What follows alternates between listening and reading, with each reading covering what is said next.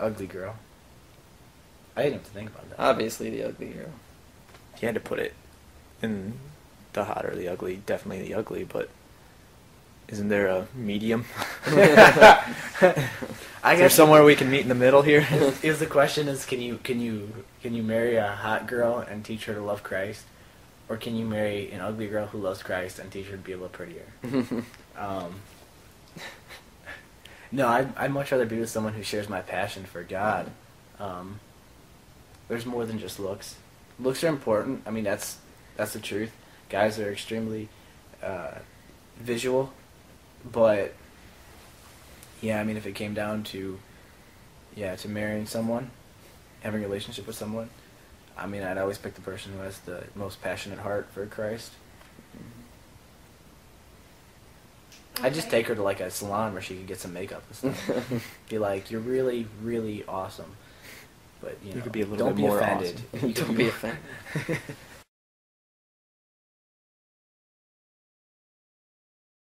no, Mhm. I don't believe so.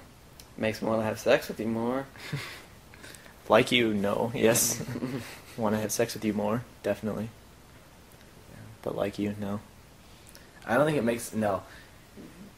I think women do think that like yeah they get into a relationship and if they have sex with a man like it's gonna immediately like the guy's gonna be in love with her and like all this stuff like that and I really don't think that's true. I mean like like they were saying I think it's gonna make him want to have sex with you more, but I think women think like that's gonna make you closer. It's not.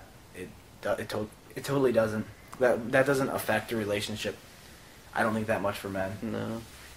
with how much they actually like you. I would say like any girl that you're with, you can have sex with, but I think there's other things that you can. I mean, like there's a lot of things that you can't find in every girl. Like I mean, when we talk about like personal traits or characteristics of them, you can't find those in every girl. But once you start having sex, it's like, well, hey, look, this girl, she's a girl. I can have sex with her. I mean, that's not what makes her. That doesn't make you any more special than the other girl that you can have sex. Yeah. I mean, obviously, from a, I mean, worldly guys, yeah, they'd probably, uh, they might like you more if you have sex with them just because they want the sex factor out of it. But from a Christian point of view, you wouldn't want someone just to have sex with them because you can get that from anyone. So I mean, But like emotionally, actually like them. I don't even think in the I don't worldly, think it even matters. Yeah, I don't think that makes a guy ever like a girl more. It just yeah makes him like having sex with them more. It only really affects how much they like them.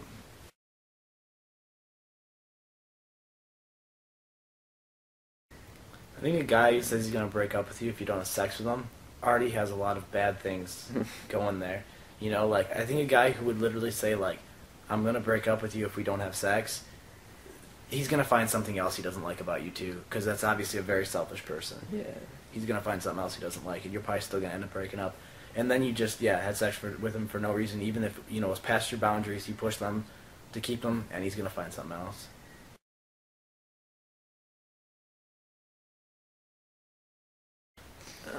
Man, question was coming. Mhm. they sort of just like hang there, I suppose. it, it's a little bit out in the front, so you're not gonna squish them with your legs when you sit. Yeah, it's true. I don't. It's not like yeah, it's not like they're like right. It's not like God created them to be painful. So we're like you just close your legs and you smash. Although I will say there's no. po- I don't know how there's possible way that guys can completely cross their legs. no, you can't That just seems awkward. It's bad. If you ever see that question, I'm just, it seems awkward to me.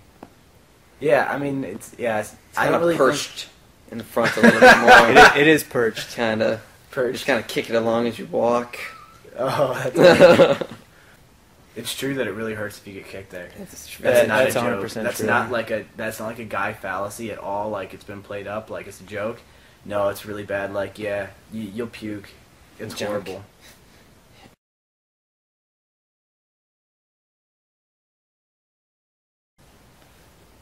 Girls, if you want any guy, I'll be honest, lie. Lie your face off. Just tell them everything they want to hear, and then you can have any guy you want. Seriously, that's how it works.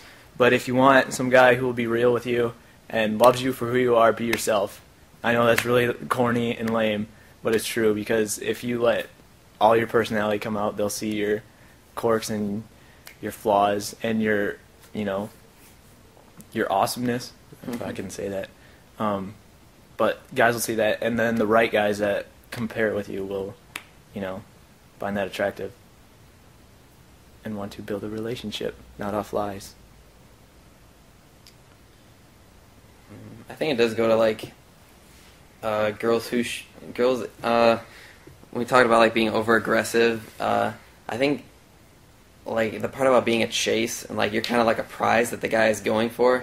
I think that's probably one of the like what girls don't think about is it's like a lot of girls who try to get in relationships they just like give themselves away and they go after the guy. But girls don't i don't think girls that many girls realize that if they keep themselves back and the guy has to go forward to know more then that is very sexy that you want to find out more about them. And i think that girls just need to realize that they need to treat themselves like a prize to be earned if a guy is like uh, trying to go for it. Uh, don't give yourselves away i guess i could say That was really good. yeah. I like that. Um, it's hard to follow.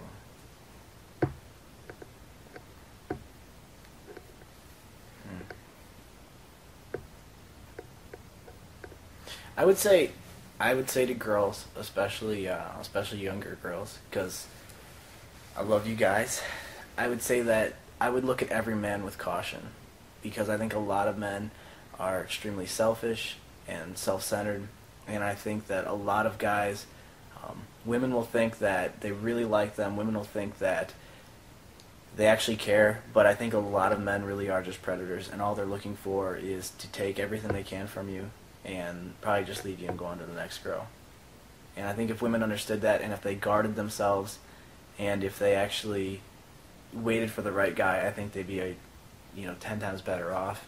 Wait for the guy, like Russell's saying, someone who will actually pursue you.